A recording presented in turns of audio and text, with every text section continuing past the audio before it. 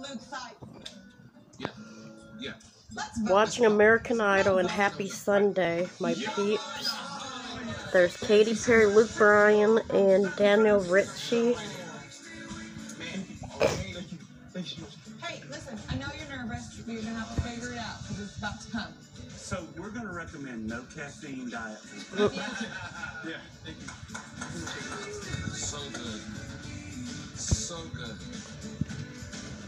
I'm eating pizza too with watching it. I had like some faith in myself, but I, I'm, I'm very, I'm very happy that they they Seen this in a while. My like, favorite TV show, me American Idol, for like, years. Songs, like to get a chance because I was very, very nervous. But yeah, It's on right now on So while this golden ticket holder's collegiate future is in question, one thing's for ABC.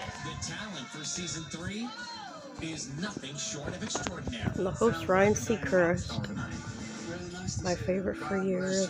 I feel like every 97.5 the radio station. I'm so sorry. We got you. But it all may be too much for Katie to handle.